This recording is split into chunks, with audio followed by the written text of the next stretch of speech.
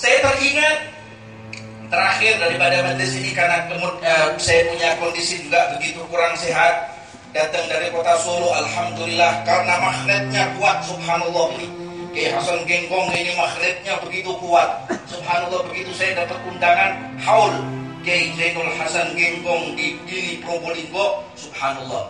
Malam itu juga saya mimpi bertemu dengan beliau. Ya itu saya duduk Subhanallah di zawiyahnya Al Habib Anis maka Al Habib Anis itu lagi baca kitab. Kitab kalam Al Habib Al Habib Ali kalamnya nasihat-nasihatnya Al Habib Ali. Di sebelahnya itu ada orang tua tapi cuma pakai kerudung begitu. Orang tua pakai kerudung begini. Jadi sengaja nggak saya sebarkan ke mana-mana cuma di sini jangan bilang orang-orang.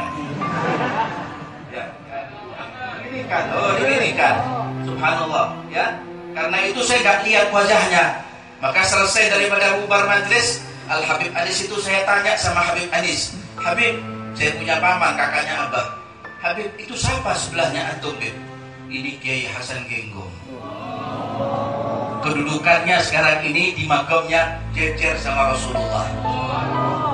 Dekat sama Rasulullah. Dekat sama sahibul maulid Simtud Durar. Dekat sama sahibul ratib. Dekat sama aulia. Dekat sama sahabat dekat sama aulia, de dekat sama akhyar, wal abror, wal arifin billah. Al Habib Anis mengatakan begitu.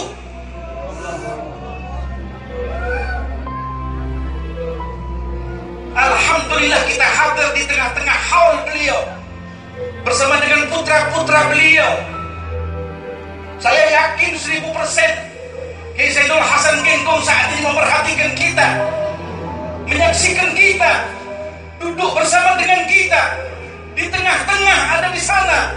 Atau di tengah-tengah ada di tempat kita. Wallahu alam bagi orang yang tahu dan hatinya bersih akan lihat pancaran sinar Kiai Sayyidul Hasan Genggong insyaallah